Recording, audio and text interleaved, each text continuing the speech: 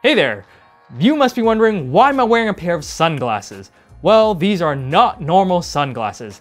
These are sunglasses made by Bose. So yes, it can play your music. But as cool as that is, it is far from perfect, and we'll get into why I say that. But before that, let me take off these glasses and we'll go through what's included. In the box, you get a semi-hard case, like a standard sunglasses or glasses case. It is not a charging case. You get this soft pouch that doubles as a microfiber cloth. It actually doesn't fit the glasses if you're wondering. And the charging cable, and of course, the sunglasses. In my case, this is the Alto version. They do have a Rondo version, which is like a rounder and slightly smaller version if you like that look better. The build quality is all right.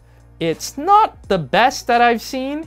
So the material choice is average, but the way they put it together is actually above average, I think. But having said that, I think that they may have chosen this type of plastic because of the weight. The glasses comes in at 46 grams or 1.6 ounces. So it is very light for what it is and I had no problem with the weight wearing it. Now the weight may not have been an issue, but there is something else about the fit that does cause an issue for me, and that is the clamping force. The temple, which is this piece, which I found out that's what it's called. I, I was calling it the glasses leg before or whatever. But yeah, the temple actually clamps down on my temple a little much. And that may be because of the shape of my head or the size of my head, but anybody with probably a larger head would probably have it even worse. So if you have a large head, then this may not be for you. Hey, I'm just gonna interrupt here because while I'm editing the video, I realized that this part came off a lot stronger than I intended. What I meant to say was that it was noticeable that I had it on, so I knew it was on all the time. But it wasn't uncomfortable or painful by any means. Unless, obviously, if your head is even bigger than mine, then maybe it would be uncomfortable or even painful. So yeah, I just wanted to clear that up, so let's go back to the original video. Now let's talk about my experience and why I say this is far from perfect. Well, the first thing is the battery. That is far, far, far from perfect. In fact, it's just bad in my opinion.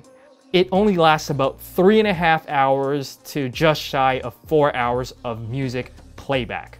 That is surprisingly low for the size, like the space you have in the glasses versus some tiny wireless earbuds that can last longer. I really wish these would at least last like five to six hours.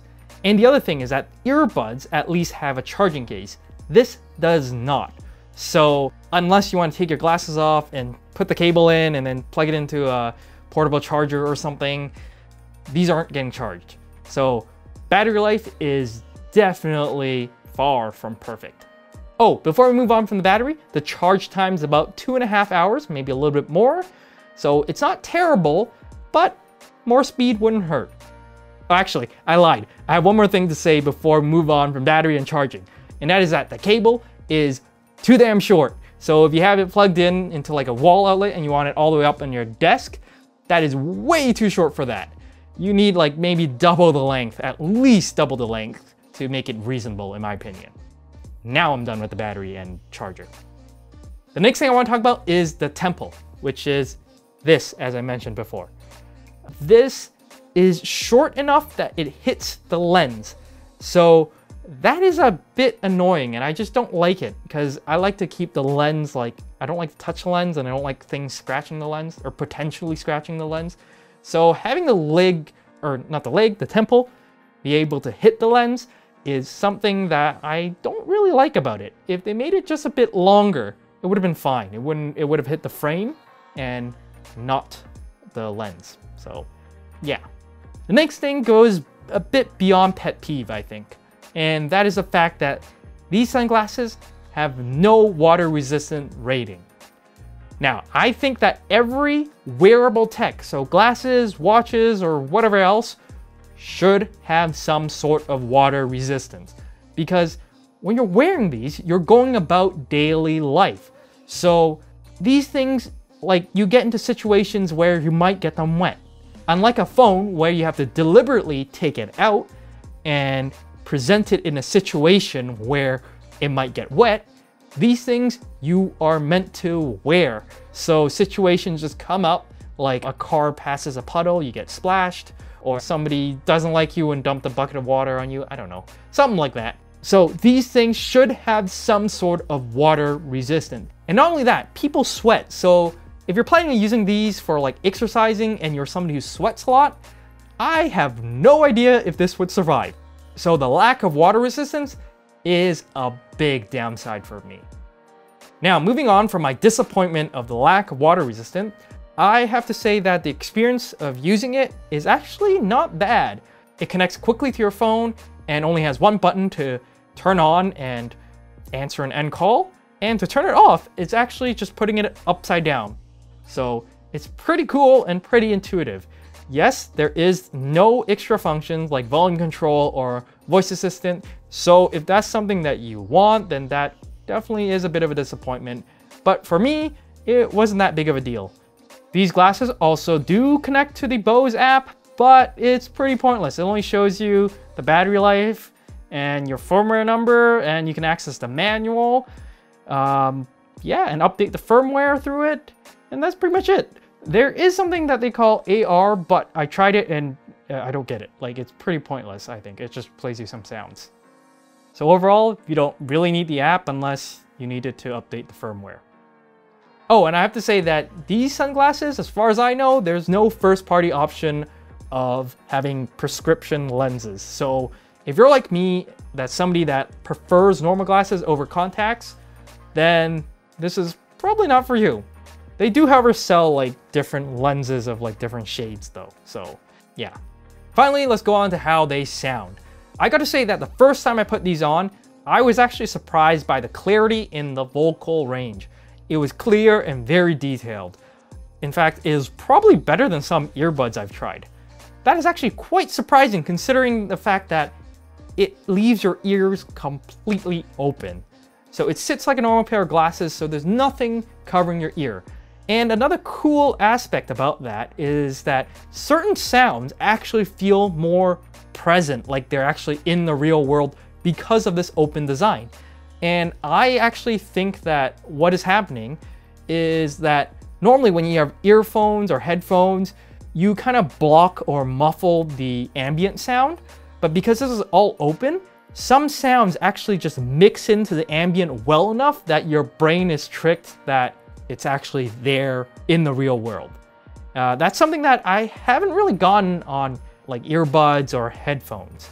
So that is something quite unique and it's because of this design of just having your ears open.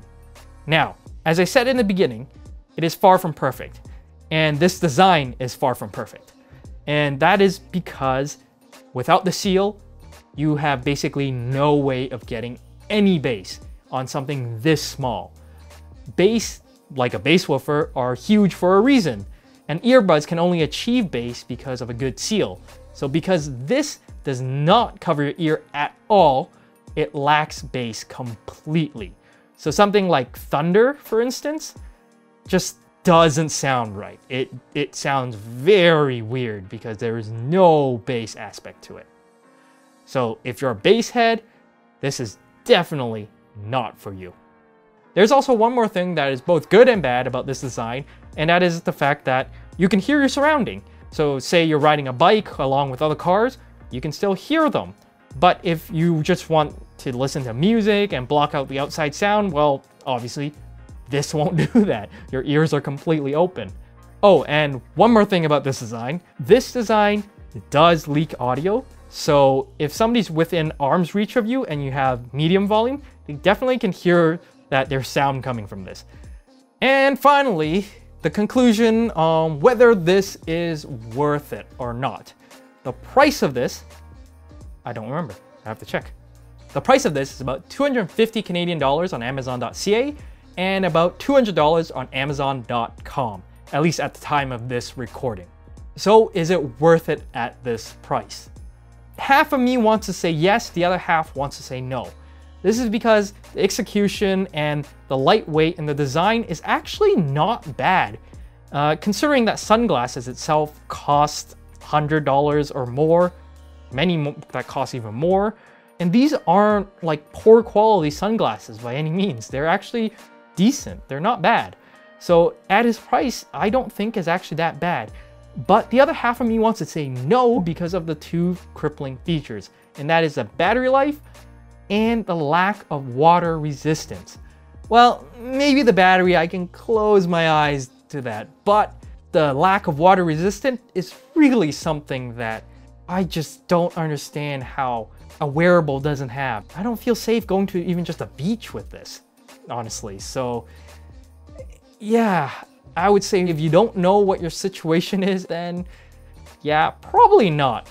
But if you know that your environment is dry and you're probably not gonna get splashed or something or not sweating a lot, then maybe. So while I'd say that I don't really recommend them, I wouldn't say that I wouldn't recommend trying them. If you liked the video, consider leaving a thumbs up. If you want more, consider subscribing. And if you have anything else to say, leave in the comments below. And I'll see you guys in the next video.